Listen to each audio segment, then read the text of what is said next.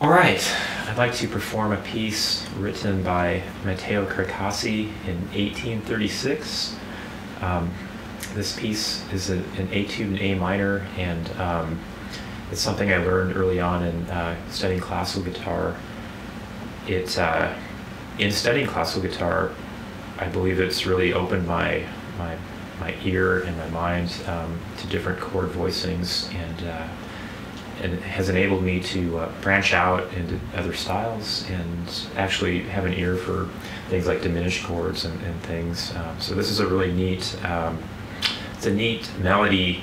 It, it actually, this, this piece has, I think, 422 notes within about a minute and a half. Um, but it's not the notes that are fun, like the, the melody is cool. So um, this is Matteo Carcassi, 1836.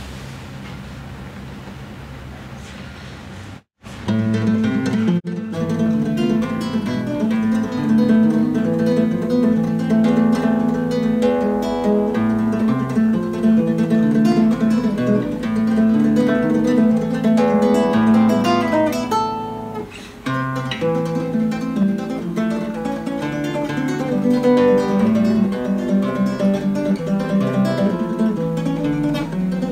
you